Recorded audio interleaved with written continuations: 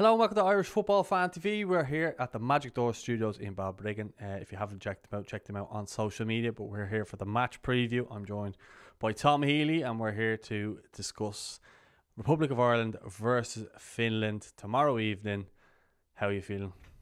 I'm looking forward to it, especially after you know, I'd say a positive couple of performances in the last time out. Uh, obviously a win against Finland, and then a loss to Greece, but definitely a lot of encouragement to take from that performance, especially defensively. Uh, I think this Finland game, as much as we have to respect them and you know take them seriously going in, uh, there's no excuses going in. It's a must win, especially being at home. And uh, I think we're more than capable with the squad that we have to go out and get three points.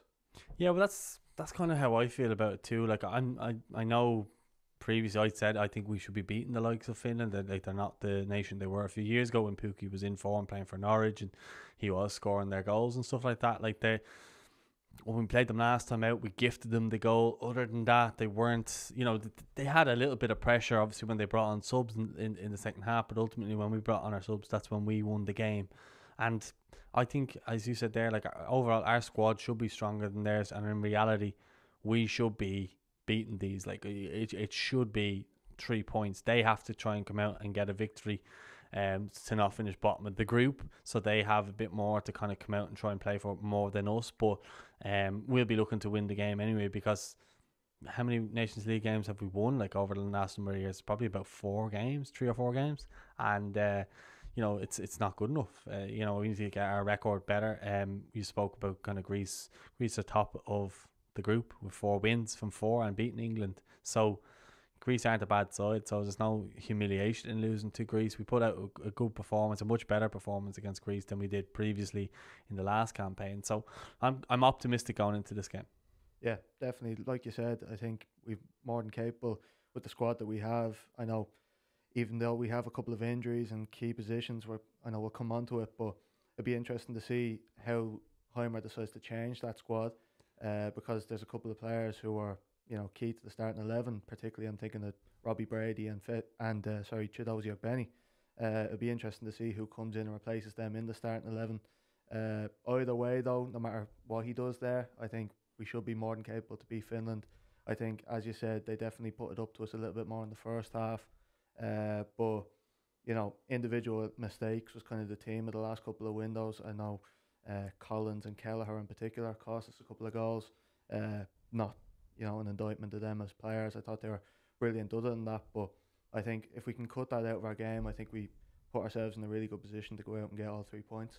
And, you know, at least put up a better performance in, you know, what we did in the last game. I thought we, we kind of scraped by in, in the second half with sort of uh, the performance of our subs. They made a huge impact, but let's go out and actually put our foot down from the first minute and have a really good performance at home against a team that we should really be better than.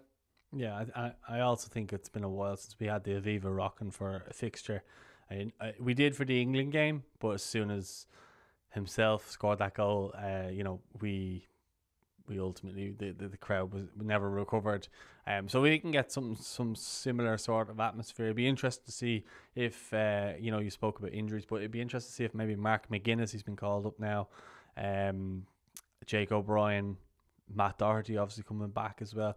Uh, Festy and Dara O'Shea apparently carrying knocks according to Heimir today, so I'd likely say that they probably won't play against Finland, but may come back in for the England game. Who knows? But that's going to be a real um, tricky one. The, the the right side because of obviously Chiedozie's pace, not having Festy, then who does actually kind of come in on on that side? I mean, you've got the trickery of a Mikey Johnston, He can play on either side there.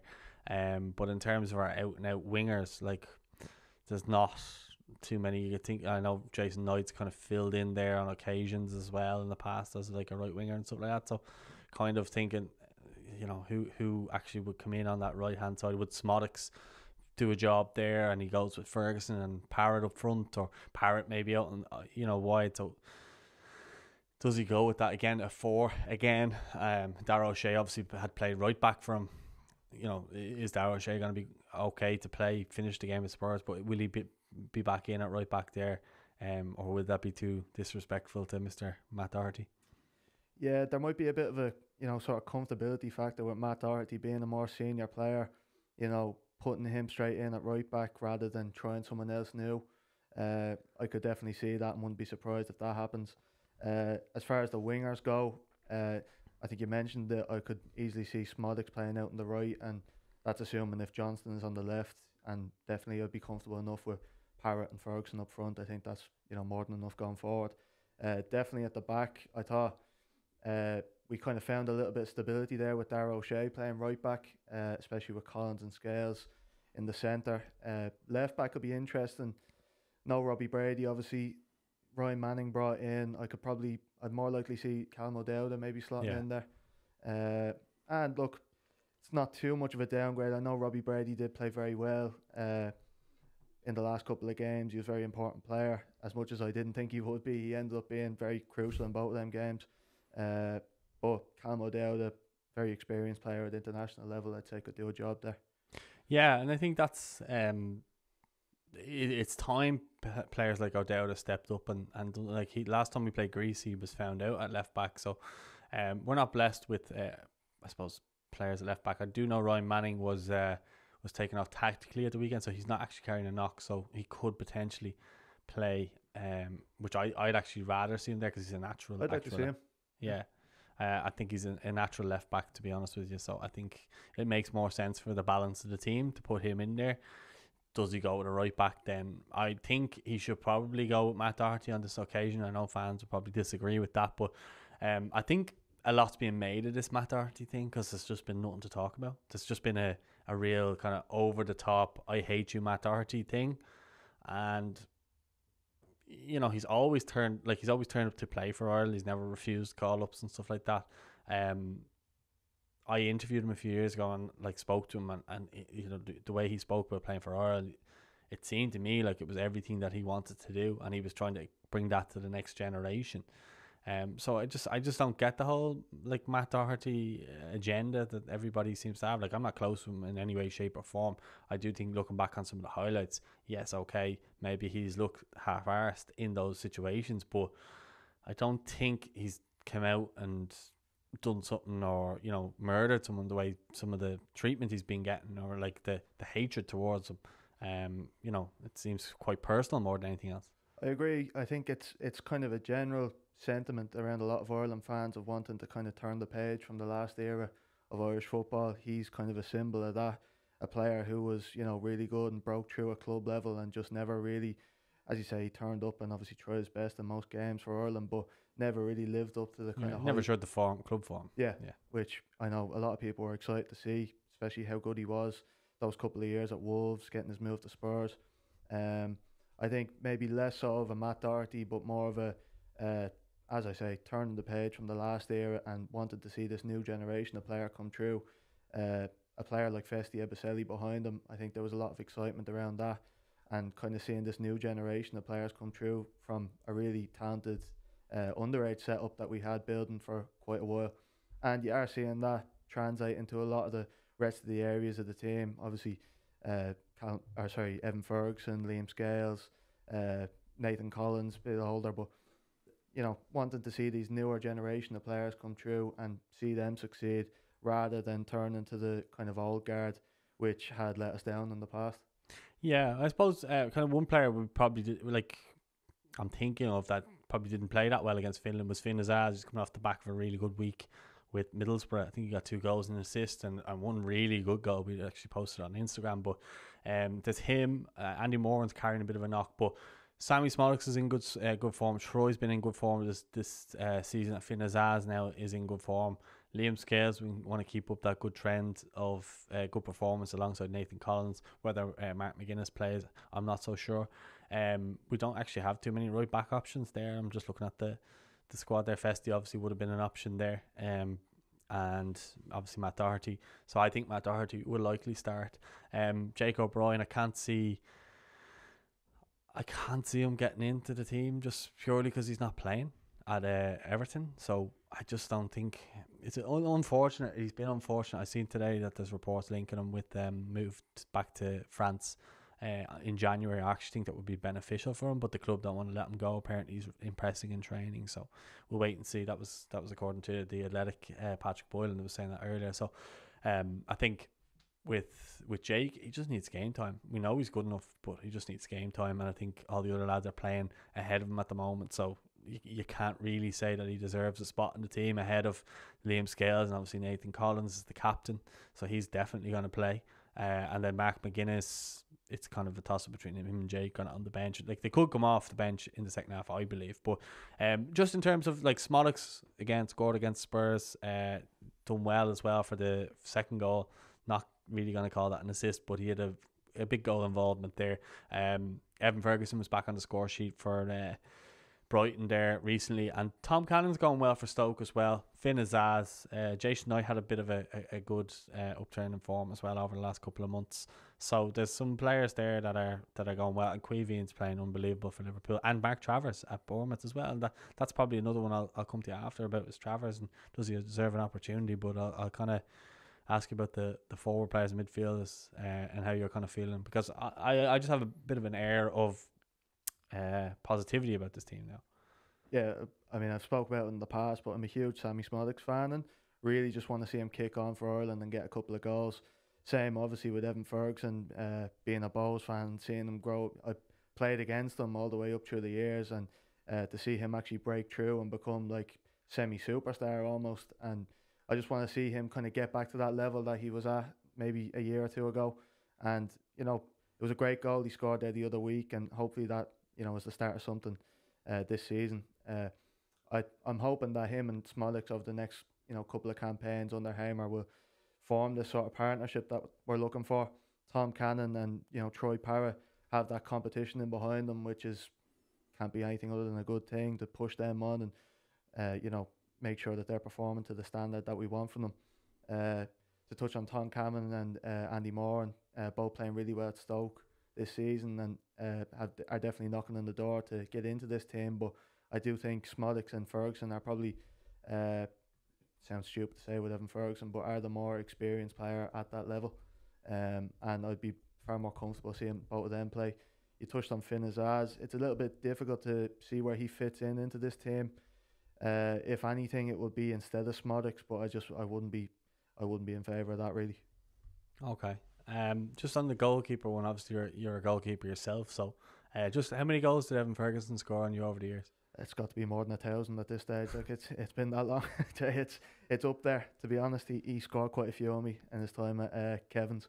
Yeah, I tell you, you feel a lot better when you see Premier League goalkeepers not saving the shots. Absolutely. Uh, but um, no, the um, Travers and Kelleher, like Travers has had issues with uh, the Serbia game. He came in for that game, and we had no real goal goalies at that point. So I'm just like, is it for a chance? The fact that he's been shown in the Premier League with Bournemouth, like he played in goal against Man City and they beat Man City. Uh, and he played against Aston Villa as well. They got a last minute equaliser in that game, but he was outstanding uh, conceded a goal in that game, but he's he's been doing really well, and I feel like he really deserves a chance. And he's just been so unlucky that obviously Bazunu and Kelleher have done really well, but Kelleher is in such good form with Liverpool, but also at the same time, Heimir said that he's talking about experimenting. So, would you be surprised if you saw the team land tomorrow and Travers started above Kelleher? And like, just I want to get from a goalkeeper's perspective, your your thoughts on both, and you know, does he deserve a chance? I think it's hard to see him getting in ahead of Kelleher at the moment. I really like Travers as a keeper, and you mentioned them couple of games that he's played uh, recently, and he's performed really well in them. Touched on the Serbia game, I thought he was really unfairly treated back then. I thought he made kind of one error, and is all of a sudden bombed out the squad. People kind of forget that before Kelleher and Bazunu came along, he was kind of next in line to take over that sort of number one jersey. Training with Randolph, yeah. Yeah, and it, it looked like he was, you know, ready made to slot into that position. Uh, makes a pretty look a bad error, but it happens, you know, all over the pitch. You've seen Nathan Collins, uh, you know, make a bad error in the last campaign, and you know that's just the nature of the difference between an outfield player and a goalkeeper. You make one mistake and it leads to a goal.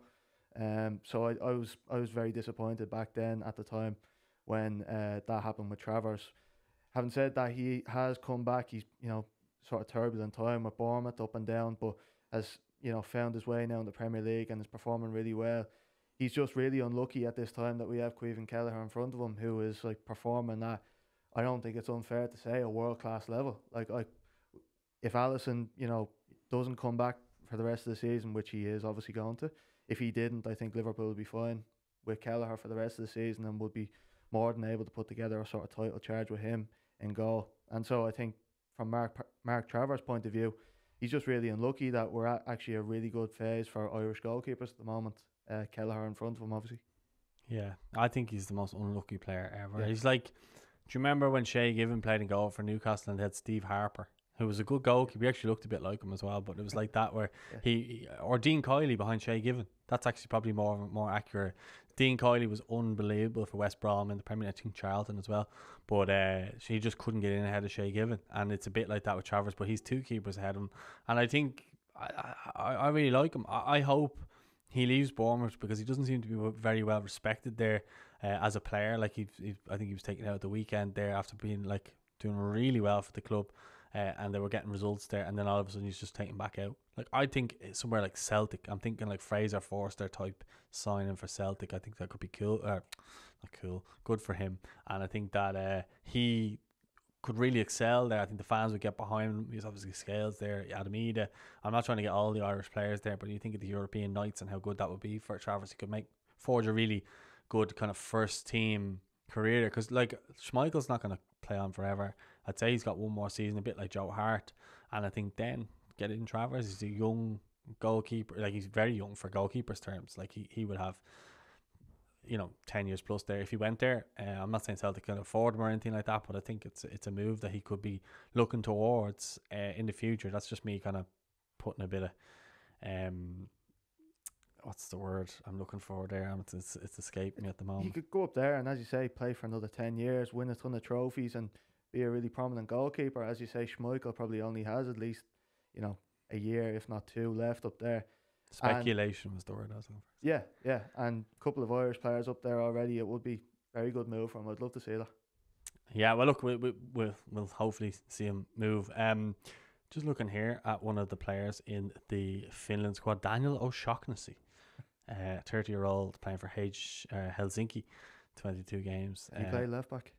Uh, he might, um, but I'm just looking at their squad. Like, yeah, there's nobody in that squad there. Again, there's Pukki, there's uh, Pohjanpalo who scored the goal, but he was gifted that by uh, Nathan Collins, uh, Pukki, Kamara, Glenn Kamara, and then their goalkeeper obviously plays for uh, uh, Leverkusen, and he's nearly on 100 caps now. He's on 96 caps there. At that's on Wikipedia though. Um, so like there's nothing to really fear in my opinion of of these again like there's no one there that stands out and you're kind of going wow obviously they've got uh who can score goals for them and he still looked quite good when he played us that in that game as well Pohjanpalo he looks decent as well but there's no one really I, I'm I'm looking at this as this should be a home win in my opinion it should be another three points on the board and I think we shouldn't have to leave it so dramatic uh, look, I know it's international football and every team are, are good these days, but I think we've enough with players in form. I think we've enough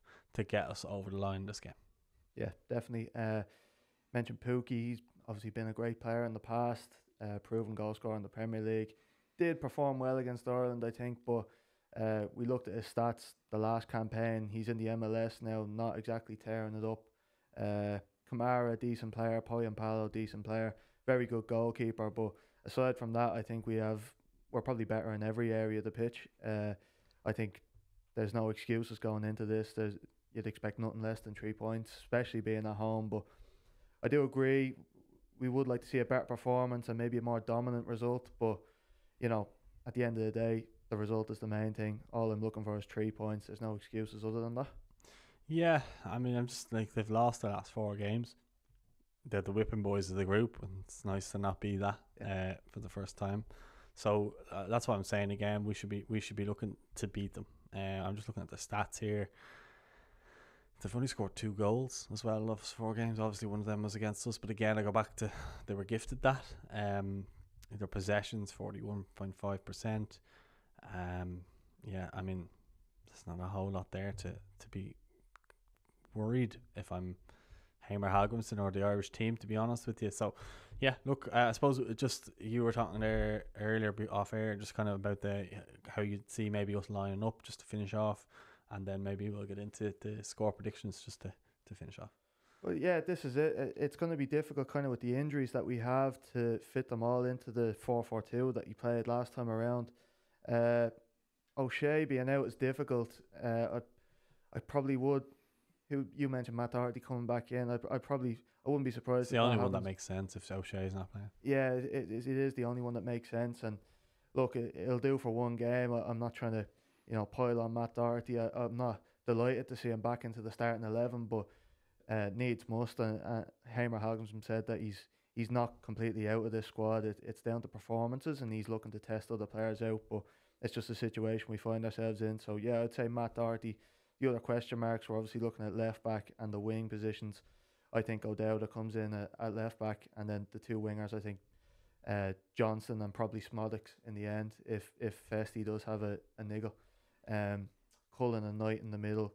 Uh, sorry, I didn't say, but Collins and Scales at the back and Kelleher and goal for me.